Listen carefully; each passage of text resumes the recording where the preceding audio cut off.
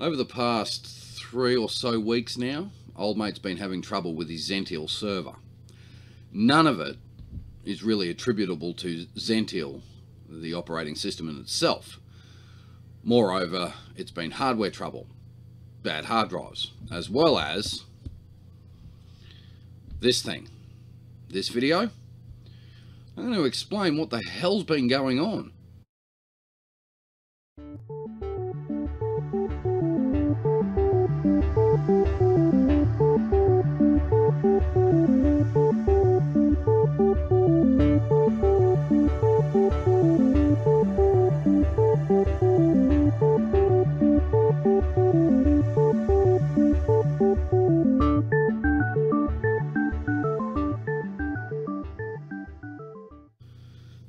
Everyone.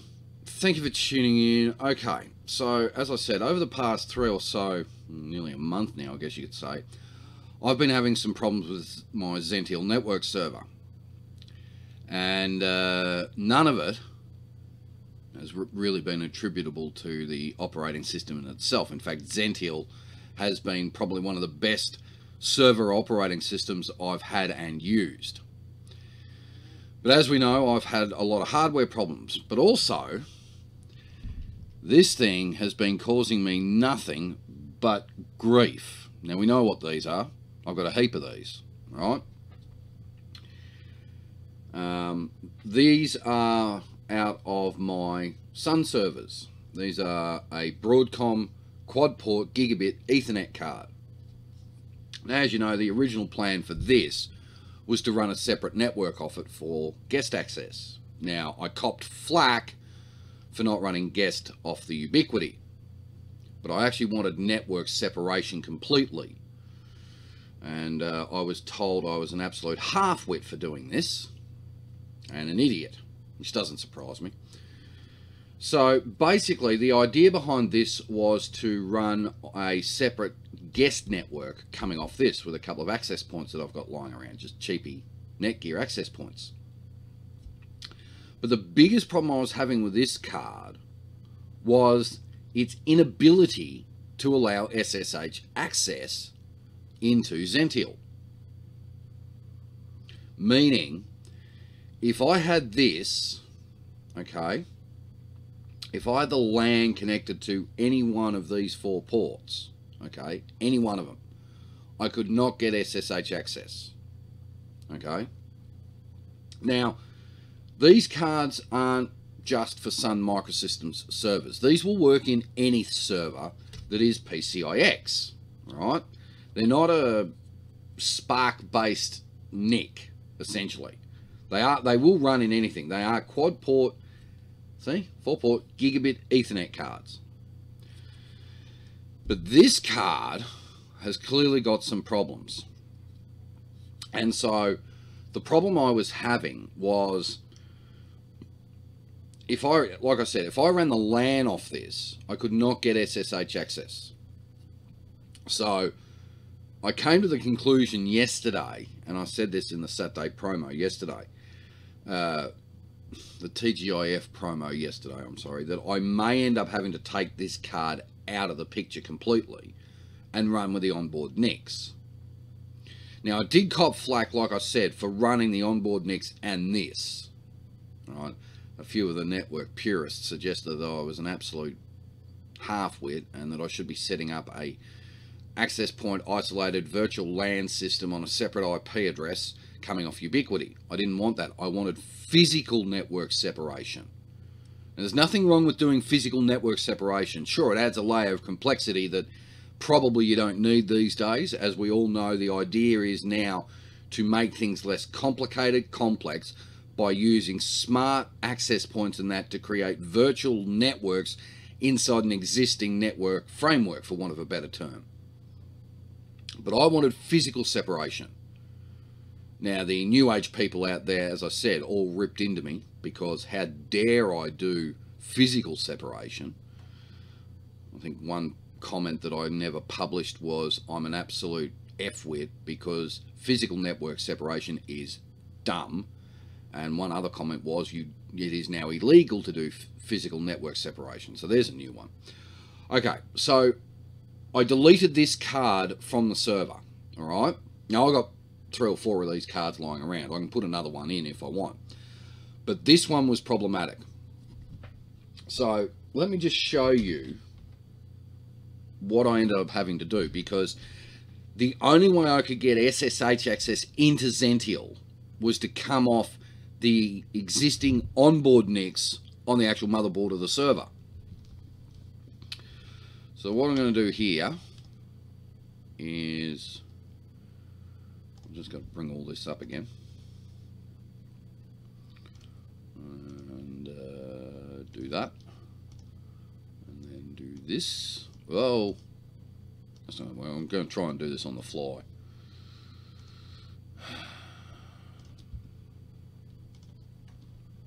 Oh, I've disappeared. okay. So, here is the SSH access into Zentyal now, which I've now got coming off the onboard NICs. Now, the other problem I was having was with this card, Mob MobaXterm would turn around and go connection refused. Now, before you rip into me and say, oh, what about setting up the SSH from within SSHD config? Didn't matter what I did. If I had LAN coming off this, it was rejected. Okay? Let me just make that a bit bigger. There we go.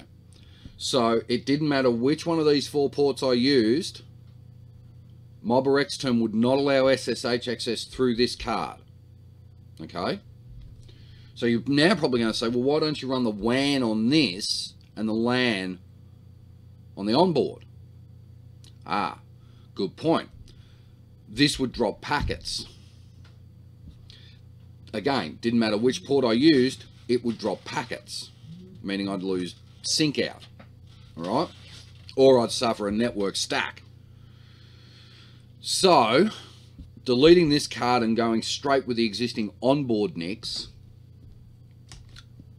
meant it work. Now, as you can see here, I've got this damn error coming up again. Um, now, I know how to fix it.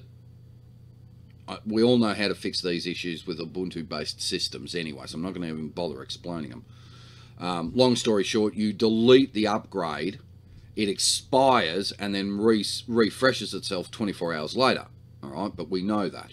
You deal with Ubuntu server, you work with Ubuntu, you know this can happen sometimes with a change log.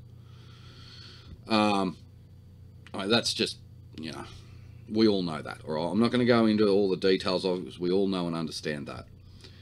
So I've now got SSH access into Zentyal. The other big problem I was having too was in here. Now you can see here I've got updates which I've got to restart the server for. Um, but basically I've now got this properly running. As you can see here, the antivirus, all that's running. Now, the other thing I want to explain was I got a lot of flack for running a domain from a lot of people. All right. Oh, why are you running a domain back out? You're halfway. In order to get file sharing going, Samba file sharing from this, I've got two options. I either set up a DC and enable file sharing, or I've got to bugger around with the file sharing settings without actually setting up uh, FQDN TLD. People were saying, you know, it's not authenticating. In actual fact, it was because I had the main PC here logged on as main PC with my username and password .byt.lan. That was the only way I could get to the Samba share. Now I can modify it a bit if I want. It's a bit of a bugger, but because people ripped into me because I'm running a domain when I shouldn't be, apparently it's illegal to run a domain at home. In order to get the Samba sharing going, I'm going to have to muck around with the file sharing once I install it to see if I can actually share the drive without actually activating a TLD. I don't know how I'm going to do that yet. I've got to work out whether I can actually bugger eyes around with it. So to avoid flack, I'm not setting up a domain, but I am going to have to, for want of a better term, hack the Samba system so I can get the two hard drives out in the server Now, all right, I can manually install Samba. Right, I can. I can manually do an apt-get app install Samba, and then manually edit uh, the shares, but I don't have user access control to those shares coming off the Zentyal server. I would have to manually mod the Samba share. So in order to shut everyone up, that is probably what I'm going to have to do. Um, even though I used realmd and the main PC was logged on with, with a username and password to the domain, because I'd set a user up here at the domain, what I'll do in order to stop everyone giving me the grief of why bother running a domain, I'm going to, well, first off, what I'll try and do is install file sharing in DC and see if I can file share without enabling the DC. Um, if I can't, I'll then just apt-get install Samba and mod the ET, mod the conf file, the CONF file which should make everyone happy. Apparently, you're not allowed to run a domain at home. Even when you do log on to the domain using a username and password as part of the domain, which was, you know, my username for this thing um, at byt.land. But apparently, no, no, no, no, I'm not allowed to use a domain at home, so I'm not going to use one. Um, so what I've got to do, um, and I'll just show you here. Um, See, what you got here is domain controller and file sharing. It comes as one package. In 5.1 and 5.13, I couldn't activate file sharing unless I had the domain. So, what I've got to do, or what I think I'm going to have to do, is try and install this and see if I can activate the file sharing on the two hard drives I've got in the server, because I've added another hard drive now. I think I showed you that. Um, so I've added another hard drive. So I've got two in there. If I can actually set up file sharing without activating the domain, I'll do it that way. I'll set up the Samba shares that way. If I can't, because the DC and the file sharing are part of the one thing, I will then just apt-get in apt-get Samba and mod the CONF file and set the two drives up that way, which is, you know, we all know how to set up Samba. So I've got to work all that out first. So I won't set up a domain because people spat the dummy with me, even though they were authenticated on the domain using username and passwords. I'd even set a profile up here on the main PC. What I'm going to do is, and, and the media PC was logged on as well, media PC at byt.land. Um, what I'm going to do is I'm going to attempt to set up file sharing without setting up the DC. If that doesn't work, then I'm going to have to screw around and hope to hell that Zentyal will allow me to mod the Samba settings if I just set up Samba. All right, I've got to figure that out at a later stage. So there we go. So I've got SSH. Um, as we know, we know these errors. So, you know, you work with Ubuntu servers, you know this sometimes happens. The fix is dead easy. I'm not going to, as I said, I'm not going to go into the fix. We know the fix. So there we are. So I've got it all set up now. Um, the other thing too is I fixed this damn antivirus issue too, which, as you know, I was having. Um, I've got the logs running, uh, the firewalls running. I'm going to show you my firewall rules. Um, I've got to obviously um, do the uh, software updates. I've got to restart the server at some stage, but there we go. So, now that I've deleted this card out of the equation, it works. I've got a funny feeling this card may be a little bit buggered as well, uh, which I'm going to have to sort out. But I've got plenty of these. I've got another four of these cards, so I can bung another one in if I have to. There's no problem with doing that. I can bung another one in. Um, and to those that wanted me to do um, what I believe is the proper and correct way of doing, which is use the Ubiquiti, Uh, no, because I want two separate, isolated networks. Now, I know that's illegal. I know it's dumb, it's stupid, it's an idiotic everything. But I want the Ubiquiti just for us. Okay? Now, yes, I know with the Ubiquiti you can set up a access point isolation system on a separate VLAN with its own DHCP DNS, but it all still ends up going through the server, through my actual main network. What I want the second network to do is just to punch straight out. So, you obviously using Zentyal's firewall. So there we go. Zentyal update, server's running, which is really good, but as I said, the only way, there's really only a couple of ways I'm going to be able to do the Samba file sharing.